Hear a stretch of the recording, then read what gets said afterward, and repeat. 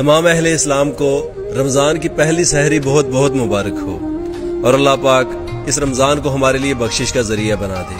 आमीन।